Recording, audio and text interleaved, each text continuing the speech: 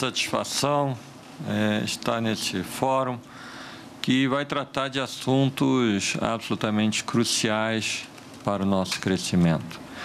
Eu comungo com as prioridades do nosso querido presidente Marcos Vinícius, é, em que nós todos temos que exatamente focar na volta do crescimento e na criação do emprego. E para isso, nós temos exatamente que estar preparados para fazermos tudo que é necessário para isso. Eu acho que o, é fundamental entendermos que temos o desejo, temos o objetivo e temos que estar, ter uma estratégia, estarmos preparados para seguirmos essa estratégia. A segurança jurídica é fundamental.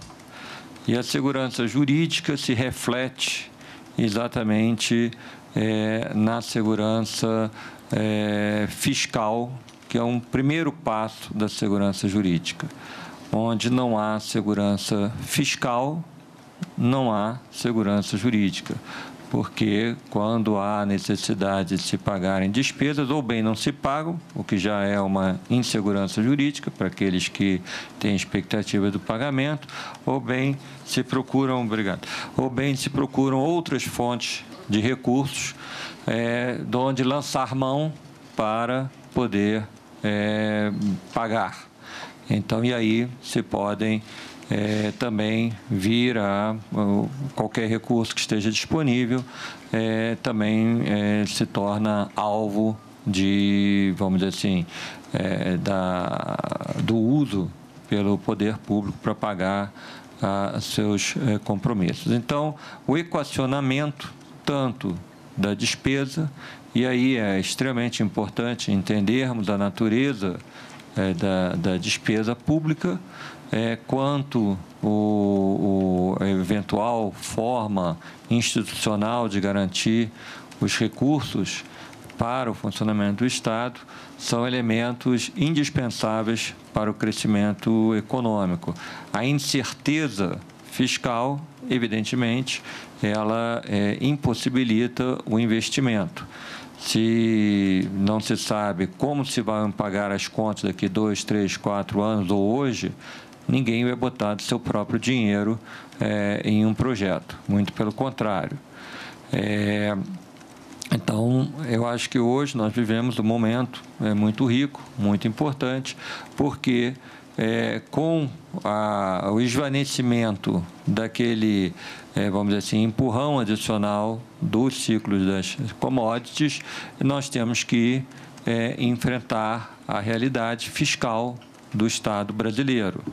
É, temos que ver quais são as maiores despesas. É, é, a Previdência. Como funciona a Previdência? Quais os princípios da Previdência?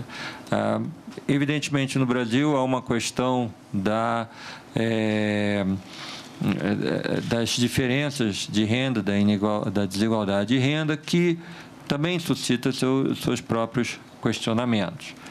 É, pode se perguntar, por exemplo, um dado para reflexão.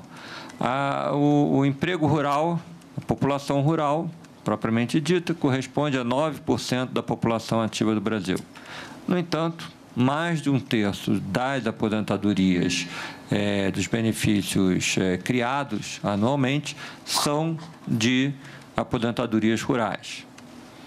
É uma questão que, do ponto de vista estatístico, é, pode intrigar deve-se tentar avaliar por que, que é isso. Serão os critérios de acesso, serão a forma de acesso, será a maneira com que uma pessoa pode se qualificar para uma, uma, uma aposentadoria rural? Será porque a idade da aposentadoria rural, que não tem a necessidade, é, é, é, comparado com a idade para uma aposentadoria contributiva normal urbana, seja mais favorável? Será que pelo fato de que, no fundo, é uma aposentadoria quase não contributiva? Essas são questões que devem ser analisadas, que devem ser discutidas, sem posições a priorísticas, mas que são importantes. O Brasil tem a vantagem de viver num Estado de Direito, num Estado de, de é, transparência, em que o acesso à informação é, é livre. E eu acho que o debate público tem que se dar é, com este tipo é, de reflexão. Então, porque, por exemplo, é, as aposentadorias rurais correspondem a uma proporção a cada ano tão grande, três, quatro vezes a própria participação da força de trabalho rural é, no total de aposentadorias concedidas. Isto está alcançando o objetivo das aposentadorias rurais, isso está protegendo aquele trabalhador mais frágil, aquele trabalhador que até recentemente talvez não tivesse acesso às instituições de mercado, a um, a um trabalho de carteira assinada, ao emprego formal. É isto ou talvez por causa de mecanismos, aí entra a própria questão não só da gestão, mas também dos critérios legais, é, acabou que se perdeu o foco e naquilo está se alcançando um valor muito maior. O mesmo exemplo acontece também em um outro benefício importante, que foi instituído, evidentemente, com as melhores das intenções, que é o, é, o, o Instituto, por exemplo, do Seguro Defeso, que é análogo. É, aqui, em poucos anos, passou-se a gastar 3 bilhões de reais com o seguro defeso. Eu não sei exatamente qual é a contribuição da pesca ao PIB, mas 3 bilhões de reais apenas para proteger os estoques de peixe é um número significativo. E não é evidente que se esteja alcançando esta proteção efetiva dos estoques de peixe é, é, através desse mecanismo. Então, é extremamente oportuna a, a, a observação do nosso presidente Marcos Vinícius sobre o gasto. Nós temos que olhar o gasto. O gasto, obviamente, pode ser o, o uso é, de, de, do telefone celular, pode ser o uso, sei lá, dos aviões, helicópteros, carros, pode ser o ar-condicionado nos gabinetes, mas, na verdade, o tamanho do Estado é definido pelos grandes programas. E esses grandes programas é, merecem ser visitados. Tanto, e, e aí com cuidado de se garantir o objetivo social desses programas. Não pode-se entrar, de repente, em uma política sem análise que, no, no, no frenesi de diminuir gastos, se venha a deteriorar é, certos objetivos. Então, agora, por outro lado, deve-se verificar se há foco tá certo? Se é, nós, é, o, como eu digo, se nós se há, se há realmente um, um, substrato fático para termos 3 bilhões de reais no, no, no seguro defeso, ou se a, a, essas aposentadorias são as mais, ou se a prática de se aposentar aos 53 anos é sustentável visto que hoje em dia, expectativa aos 50 anos, expectativa de vida é de 80, 85 anos, e essa expectativa de vida continua crescendo. Esta é a discussão real do gasto que nós temos que ver. Nós também temos que eh, ver se o uso do, do gasto para o investimento, do gasto público para o investimento, é a maneira mais eficaz. E aí, como que a gente pode melhorar esse recurso? E eu acho que aqui é um, um dos temas a ser discutido. Quando se quer falar no gasto, temos que falar na melhora do gasto. Então, por exemplo, como se podem melhorar os contratos e como se podem melhorar os projetos é, no investimento público. Há mais de 20 anos não se tem, vamos dizer assim, a prática de ter projetos executivos é, nos grandes investimentos. Se fazem é, investimentos, decisões é, com uma certa, vamos dizer assim, fragilidade dos projetos, o que obviamente traz toda uma consequência de insegurança jurídica, porque eu não tenho um projeto específico, como que eu vou saber qual é o preço desse projeto? Como é que se vai negociar o preço? Como é que eu vou sequer definir um sobrepreço, se houve, se não houve? É, que tipo de instrumento depois eu vou ter para fazer ajustes? Então, parte-se de um princípio de incerteza, incerteza que pode estar na engenharia, mas que rapidamente se traduz numa incerteza jurídica. Então, é, neste momento, nós temos que olhar este tipo de coisa. Como nós podemos melhorar a segurança jurídica dos contratos? A segurança jurídica dos contratos é exatamente o que vai ajudar a diminuir o custo do investimento público, vai diminuir as incertezas que circundam o investimento público. Assim como, mais uma vez, o compromisso fiscal, o equilíbrio fiscal também, no caso do investimento contratado pelo é, setor público, vai diminuir a incerteza em relação ao pagamento do que foi contratado. E, às vezes, também regras para evitar excessos de entusiasmos em contratações também garante que o que for contratado é compatível com a perspectiva de médio prazo para o pagamento desses compromissos. Essas são regras básicas, mas que são regras que diminuem as fricções e, portanto, aumentam a eficiência e aumentam a nossa capacidade de crescer.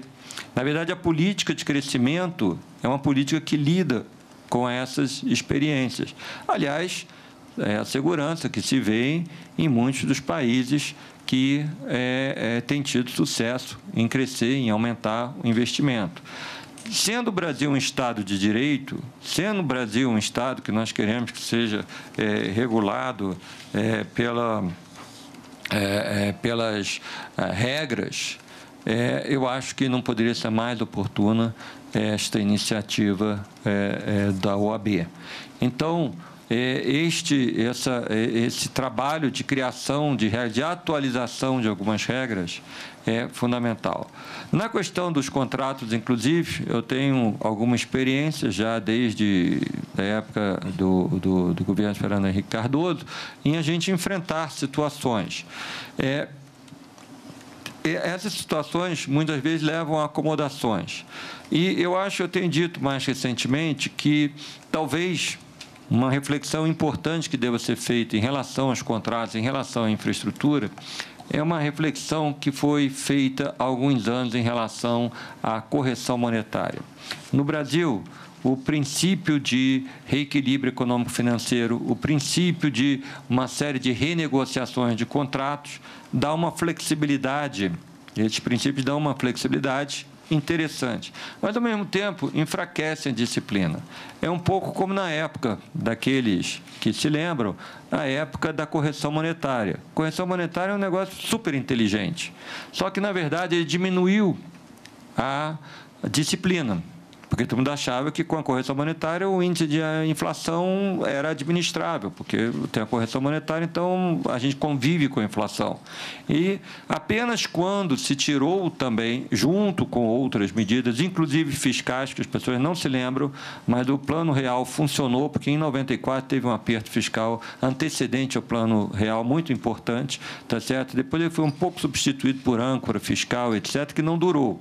E só depois se voltou a reafirmar quando, a partir de 99, houve uma enorme ênfase fiscal com a lei de responsabilidade fiscal, etc. Mas, na verdade, se conseguiu fazer a transição de moeda, porque não havia um excesso de demanda, não havia um laxismo fiscal no momento da, da, da, transição da moeda. Em 94 houve, um pouco através do próprio mecanismo de inflação, mas houve um aperto fiscal muito significativo que permitiu que não houvesse pressões inflacionárias no momento que houve a troca de moeda.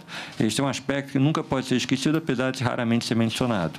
Mas, enfim, é, a, a possibilidade, é, é, então, de se partindo-se de uma solidez fiscal, se constituir regras mais é, vamos dizer assim, menos flexíveis nos contratos de, é, de infraestrutura, que protejam, que, que, que, que, insiram a ideia de que se trata de contratos perfeitos e não aqueles que vão estar, é, vamos dizer, sempre em mutação, esta traz uma disciplina que é absolutamente indispensável para efetivamente reduzir o custo de investimento no Brasil, efetivamente trazer segurança jurídica e também aumentar o rol de interessados em participar nesse mercado.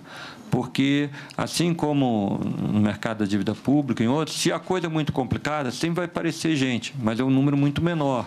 Porque aqueles que estão dispostos a fazer por um preço mais baixo, eles não podem gastar muito tempo, muita energia tentando descobrir todos os intricados aspectos e superando todas as incertezas é, de um determinado mercado. Eu costumava dizer isso em relação à dívida pública, porque era tão importante a gente ter simplicidade e ter é, estabilidade na dívida pública. Porque aí se aumenta muito o rol de pessoas que vão estar interessadas. E, com isso, se, eh, vão se atrair pessoas que vão estar nos financiando a custo muito mais baixo. Se for complicado, sempre aparece alguém, mas vai exigir um prêmio. Se for simples, se for transparente, se for um, um, com absoluta segurança jurídica, o rol daqueles que vão querer participar aumenta e os custos diminuem de maneira é, palpável. Então, esse tem que ser o nosso objetivo. Eu acho que, é, tanto para os contratos em que a contraparte seja o setor público, quanto daqueles que tenham, vamos dizer, uma intermediação do setor privado, em concessões, PPPs e outros mecanismos. E isso ainda se tornará mais importante se houver maior proeminência é, do financiamento privado. Então, muita gente fala que é, houve ou há é, dependência excessiva do BNDES e de instrumentos públicos, etc. Muito bem, se nós quisermos que, além da operação, por exemplo, dos ativos de infraestrutura serem é, ser é, privada, nós quisermos que o financiamento seja privado, é evidente que isso só se alcança com maior segurança jurídica. E, na verdade, se nós alcançarmos isso, nós mudaremos a equação monetária do Brasil também. Se nós mudarmos a maneira de financiar a economia, nós vamos ver uma, uma, uma, uma mudança também na capacidade de atuação da política monetária muito grande. Então, eu acho que tem que se haver clareza, uma real estratégia. O objetivo nós sabemos qual é, nós queremos mais crescimento, nós queremos mais emprego. A questão é, qual a estratégia? Qual é o caminho para chegar lá? É, o professor Raul Veloso está aqui, é um batalhador de 20 anos e até mais das questões é, é, é, fiscais. Eu estava ontem vendo a televisão, tava, já havia duas, duas, várias opções. Uma era a própria votação, que foi de, conduzida de maneira exemplar, e é aí também. O, o nosso presidente dizia que o governo tem que dar mostras de querer cortar o gasto. A ênfase da presidente Dilma em garantir que, se fossem mantidos os vetos aquelas despesas, inúmeras despesas de toda sorte, muitas permanentes, outras eram específicas, mas quase tudo que estava sendo é, votado, aqueles vetos da presidente que foram votados ontem, é, praticamente todos eles tinham a ver com diminuir os gastos. Ela vetou porque eram fontes de novos gastos, eram é, origem da exigência de novos impostos. Cada um daqueles vetos que foi mantido contribuiu para a gente não ter mais impostos. E o risco da queda de cada um daqueles era o risco de amanhã, como disse o, o presidente, é, se ter que entrar no bolso do contribuinte. Esta equação que nós vivemos. E eu acho que o Brasil deu uma amostra de maturidade é, à, àquela votação de ontem, que deve ser concluída, porque cada vez que se cria um novo gasto, um novo gasto permanente, da natureza que seja, cedo ou tarde haverá uma repercussão nos impostos. Essa, essa equação, eu acho que ela é, não tem a menor dúvida. Então, é, resumindo, nós temos que partir da solidez fiscal. Garantida a solidez fiscal, que é a primeira fonte de segurança. O, o, presidente ainda mencionava a Carta Magna, né? Estava lendo o livro que ele tão generosamente nos é, brindou aqui, Garantias Constitucionais de Segurança Jurídica. A gente falava da Carta Magna. O que é a Carta Magna? Carta Magna era basicamente dizendo que a tributação e os gastos deveriam ter uma certa disciplina. E assim se fundou o primeiro Estado, vamos dizer assim, moderno no sentido fiscal. Ainda demorou alguns anos praticamente até a época pós-Cromwell, para que é, é, houvesse uma regularidade, através do parlamento, do, dos gastos, de tal forma que aí, a partir daí, a dívida pública se tornou uma realidade. Porque antes disso, os, todos os governos se financiavam achando assim, um financista de plantão ou algum dinheiro que estava parado em algum lugar que se poderia usar, não havia uma regularidade. Só se estabeleceu a dívida pública, até no caso da Inglaterra, a dívida perpétua, né, os consuls e tal, a partir de quando houve uma disciplina nos gastos. Quando não se poderia, o, monarca não podia entrar numa guerra sem autorização, não podia iniciar novas despesas, sem uma clara definição de quais seriam as fontes de recurso. O Brasil já avançou muito nessa área. E, aliás, esse equilíbrio foi fundamental para ter a Revolução Industrial, para se ver todo o crescimento, transformação, o vapor, depois eletricidade e tal, é, decorreu da estabilidade que se construiu do ponto de vista fiscal. Não se podem esquecer essas lições. Isso que permitiu a taxa de juros na Inglaterra é, cair, como caiu antes da taxa de juros, era sempre dois dígitos, três dígitos. Só se conseguiu ter uma, uma taxa de juros baixa quando se criou esse arcabouço de disciplina é, fiscal, não haver novos é, gastos, por mais importantes que eles possam ser. Então, é, eu acho que o, o, o, presidente eh, Marcos Vinícius tocou o ponto fundamental. Nós temos que olhar os gastos. Nossos maiores gastos são gastos de grandes programas. Eu trouxe alguns exemplos em que é, exatamente nos forçam a olhar e nos forçam a ver se o gasto está alcançando o objetivo que ele foi. E isso é muito importante, porque o Brasil é um país de desigualdades é, de várias sortes. Então, nós temos que ter algumas ações. Agora, as ações estão sendo focadas, elas estão ajudando a diminuir essas desigualdades, desigualdade de renda, etc., é, de tal maneira que se possa ter algo que seja compatível com a nossa é, é carga tributária, com a capacidade da sociedade financiar essas ações para diminuir as desigualdades. E aí citei alguns exemplos na, é, na, na, Previdência Social, que corresponde a 40% do gasto da União. Nós vamos gastar meio trilhão o ano que vem na Previdência Social, é o maior gasto. O segundo maior gasto é o funcionalismo público, com mais ou menos 250 bilhões. Os dois praticamente já correspondem a quase tudo. Depois disso tem um pouco de educação, um pouco de saúde, 40 bilhões do PAC e mais ou menos 60 bilhões paga todo o resto. Tá certo? Então, do 1 trilhão, nós temos, na verdade, o contingenciável, na verdade, o que é despesa discricionária, são 60 bilhões, 70 bilhões no máximo. Tá certo? Então, a gente tem que focar. E isto se reflete é, na capacidade de se desenvolver coisas que são fundamentais para o crescimento, como o investimento, e particularmente o investimento em infraestrutura. Tanto aquele que é contratado diretamente com o Estado, quanto aquele que se faz através de concessões, porque onde há insegurança também é impossível é, se conseguir é, concessões é, é de sucesso. Então, eu acho que, é, é, entendido bem a questão fiscal, entendido bem a questão dos gastos na pressão, porque do momento que é o gasto, ele tem que ser financiado, ou ele é através da dívida, ou ele será através de impostos. E a segurança jurídica, em outros aspectos, através da melhora dos contratos, que é um dos temas que será é, tratado a, aqui. Já temos um, um primeiro projeto. Foi, foi, foi, formada uma comissão, o, o, Ministério da Fazenda formou uma comissão para analisar esses temas, trazer, inclusive, subsídios para até um trabalho de cooperação legislativa que estamos fazendo com o Congresso é, dentro do âmbito da chamada Agenda Brasil, nós temos desenvolvido uma agenda de cooperação legislativa para o crescimento. E neste âmbito, junto com a participação na comissão que foi, foi criada pelo, no, no próprio Congresso, também tivemos aqui uma participação de juristas. Não basta economistas, é, presidente. É muito bom ter economista, mas se a gente não tem jurista para escrever o arcabouço, não dá certo. Essa é a experiência do, do passado.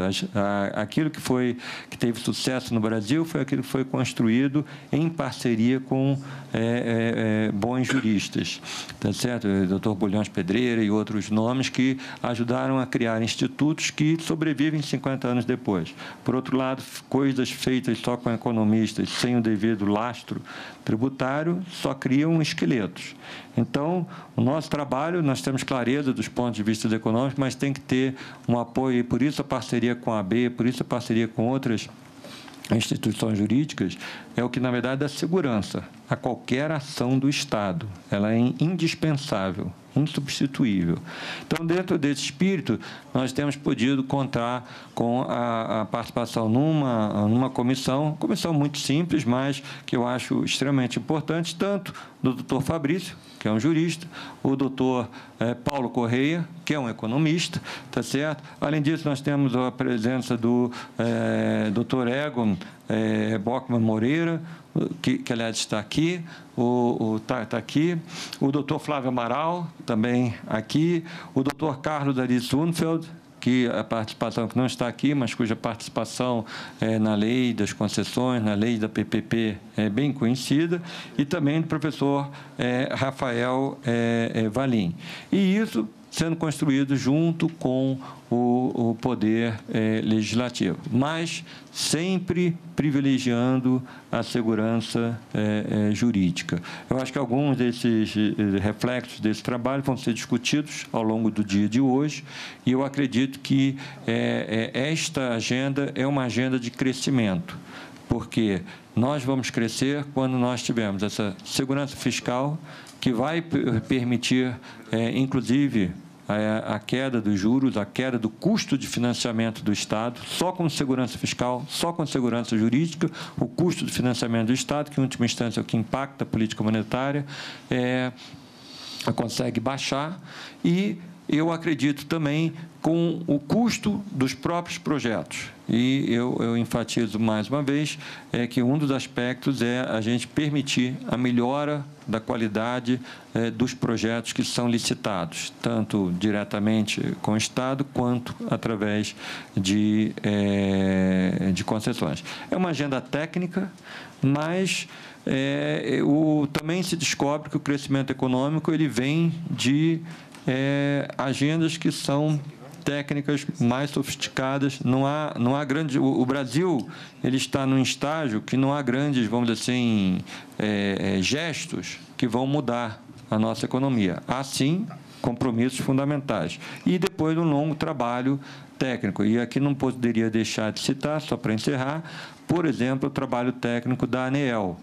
A, a consistência, obviamente, nem sempre isenta de controvérsias, né, meu querido é, presidente? Mas a consistência, a seriedade do trabalho da ANEL, nos mais de 15 anos em que eu acompanho e às vezes participo, é, tem sido um fator é, diferenciador da, é, é, da nossa economia, da nossa sociedade. Tem contribuído para que se continue o fluxo de investimento. Não vamos esquecer, este ano a nossa é, capacidade instalada cresceu, está crescendo mais de 6%. A oferta de energia, apesar de tudo que se possa fazer, apesar das questões climáticas, continua crescendo. E o papel de instituições técnicas, é, sofisticada, é, sofisticadas do ponto de vista conceitual, ancoradas no jurídico, tem feito toda a diferença. E para um Estado é, baseado na segurança jurídica. Um Estado, como o senhor hoje é, lembrou com tanta propriedade no, no, nas folhas, na, na, Folha de São Paulo, né? em que a, a Constituição é, tem que ser a última palavra, a preservação dos direitos tem que ser a última palavra, é exatamente esse é, é, trabalho que tem que ser, tem que ser continuado com toda a sofisticação intelectual que eu tenho certeza vai perspassar as discussões aqui e que está refletida não só na ANEL, mas na NP, em outras é, é, agências que têm tido um papel é, fundamental é, em, em, se conseguir uniformização de, de, de, regulação, em se conseguir exatamente essa segurança jurídica. Então, presidente, muito obrigado é, pela iniciativa, pela oportunidade de podendo aqui compartilhar alguns é, é, pensamentos e queria trazer essa tranquilidade, que se nós conseguirmos firmar este conceito da segurança é, fiscal, da atenção aos gastos de maneira ampla. E o professor Veloso poderá explicar mil vezes melhor é, é, do, que, do que eu isso.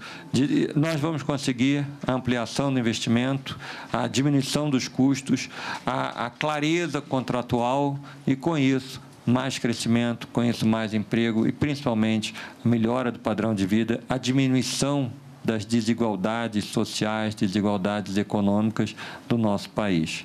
Muito obrigado.